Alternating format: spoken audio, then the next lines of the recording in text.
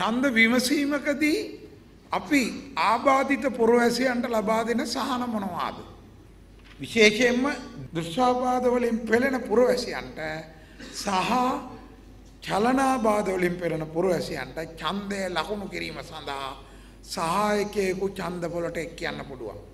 රෝගීන්ට සහ කායික දුබලතා තියෙන අයට ඡන්ද පොලට වාහනයෙන් යන්න අවසර ගන්න පුළුවන්.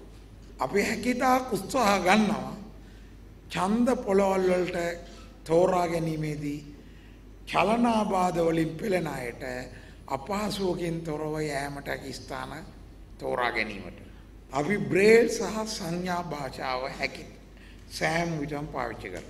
කිසි විටක ආබාධය කියන එක බාධාවක් නෙවෙයි. අපි සංවර්ධනය සඳහා ආබාධිත පුරවැසියන්ගේ දායකත්වය සහ නායකත්වය ගැන කතා කරනවා.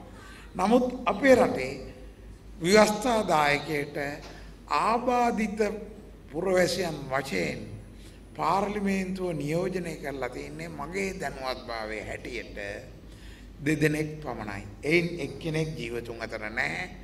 අනිත් මන්ත්‍රීවරිය තවමත් පාර්ලිමේන්තුවේ ඉන්නවා.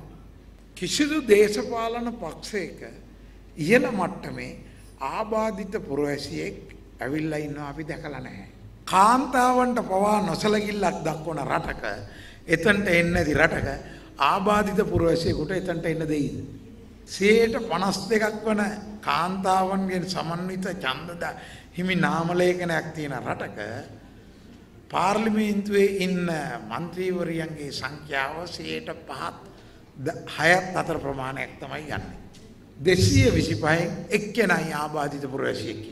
පුරවැසි ආබාධිත පුරවැසි සංවිධානවලට රටේ ඉහළම නායකයෙක් හමුවීමට අවස්ථාව ලබා දෙන්න ලෙස මාත් මැදිහත් වුණත් එය කරන්නට බැරි වුණා. අපි උත්සාහ අපි බලාපොරොත්තු වෙනවා රටේ සියලුම නායකයන් වෙත මට දේශපාලන පක්ෂ සමග සාකච්ඡාවක් තියෙනවා මම එහිදී ඔබට පොරොන්දු වෙනවා මේ ආබාධිත පුරවැසියන්ගේ දිනේදී අපි එකතු වී කතා කර කරුණ ඔවුන් සම්බන්ධයෙන් වැඩි අවධානයක් යොමු කිරීමට සියලුම දේශපාලන පක්ෂ කටයුතු කළ බවට මම ඔවුන්ට එට යෝජනා කරනවා. ආබාධිතයන්ට අනුකම්පාව වැඩක් නෑ. අපට ඕනේ සහකම්පනය නැත්තං එම්පති කියන එක.